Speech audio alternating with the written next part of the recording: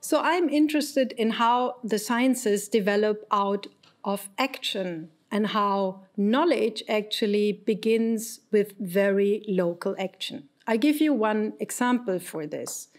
Every morning when you get up, you take your breakfast and you go through work to work and you communicate with your colleagues, you develop an understanding of the world that surrounds you, of nature, of society, of climate, of weather, of the many questions that the sciences are concerned with nowadays. You do not only become part of the data collection that allows these scientists to develop understandings about nature and the weather. I am interested in following up this local development of knowledge in the longue durée. And because I'm a historian of China, I look in particular at this culture and how it develops and constructs ideas of local knowledge. And for that, I look into a particular corpus of texts that Chinese scholars call the local gazetteers. These local gazetteers gather such information over the longue durée, beginning in the 7th century up until today.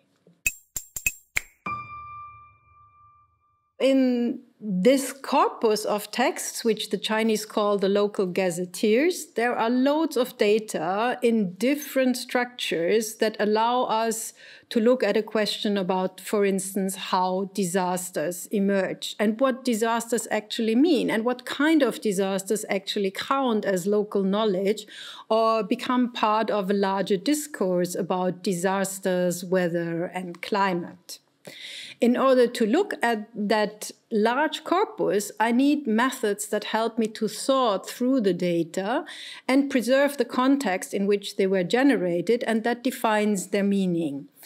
I am using digital humanities in, in as a way to make that work. So, to allow the historian both to preserve the details of the information about a specific context in which people think about disasters, and to, to see that within the larger picture of how other people looked at disasters.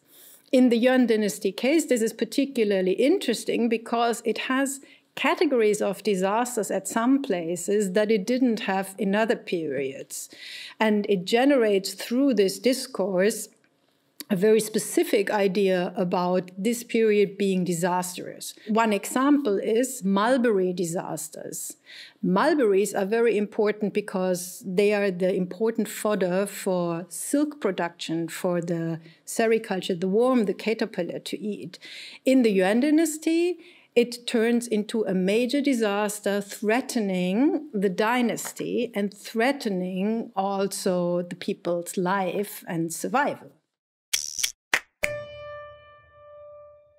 So, historians are always most excited when they have a surprising result. And I actually had a very surprising result. From my previous knowledge, I knew that I should have data sets both from the north of China and the south of China in this period, because in this period, these two regions were central to the production of silk and thus also to mulberry plantations. However, I found only data in the north, and I basically found no data in the south. This was very surprising, and hence I checked many ideas about how that could have happened. For instance, different weather, probably social structures, communication didn't work. After checking that, however, I realized it couldn't be weather, and obviously it was a historical political manipulation that happened. But it hadn't happened in the 13th century when these disasters had occurred and were initially documented. Rather, it happened 200 years later in the 15th to 16th century when obviously one group of scholars in the north had decided that mulberry disasters of the Yuan dynasty were particularly important. They were particularly important to defame this dynasty's ability to prevent disasters and harm from the people, and hence had started to systematically collect that information and to continue the collection of this information throughout the following generation. Thus, from decade to decade and from century to century, the North became by documentation, very disastrous region with lots of disasters happening all the time. But in the South, they seemingly decided that they didn't need to initially record those disasters in the 15th century, and hence the succeeding generations also did not observe such disasters and did not record them as well.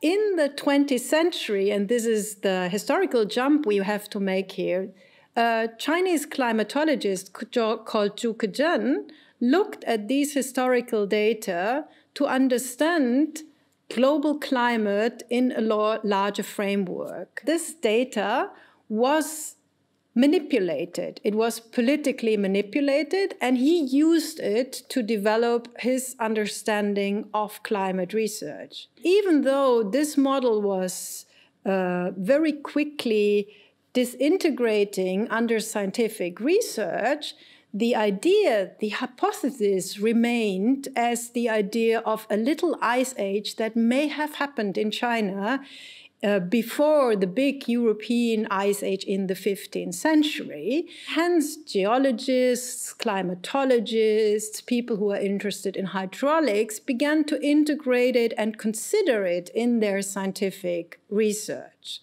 From all this, you can learn something about local knowledge and its relation to scientific understanding and development local knowledge does not exist out of the blue. Take the example of a disaster many things happen nowadays also with us that we could consider to be a personal disaster, a social disaster, a disaster in a city. That disaster is relevant only if it exists within a reference framework that makes it familiar with other experiences. And this familiarity is also created over time.